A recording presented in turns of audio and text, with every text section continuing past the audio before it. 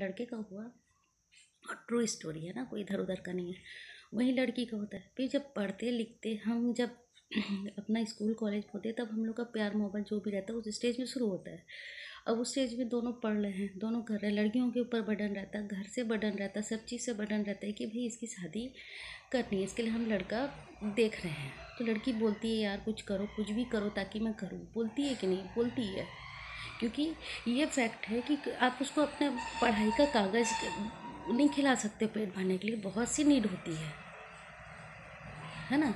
तो उसके भाई फादर अपना ढूंढते हैं, ढांढते हैं, अब उसमें लड़का गवर्नमेंट जॉब है, ले आए उसके सामने, घर में पूछती है सबसे बोलती क्या करे, सब बोलती, कर लो, अच्छी बात है। तो गलत तो नहीं बोल ना, भाई, हर चीज़ है फ्यूचर है, सब चीज़ है।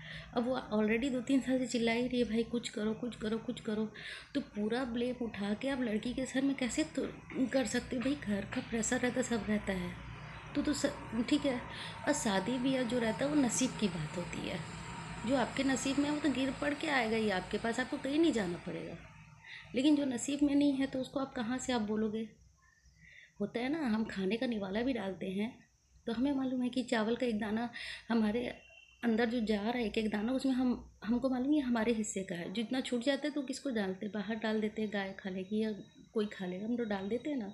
तो हमारे नसीब का नहीं रहता है। बस उसी तरह ये भी रहता है। प्यार, मोहब्बत भी ऐसी है, जो नसीब में नहीं रहता है, वो नहीं मिलेगा। जो है तो कैसे करके मिलेगा ही। और ये फैक्ट है। आप नसीब से नहीं लड़ सकते हो। लोग बोलते हैं कि नसीब बदल सकते कर्म से बदल सकते हैं। हाँ बदल सकते हैं, लेकिन वो कर्म से बदलना भी हमारे तकदीर में लिखा रहता है ये चीज़।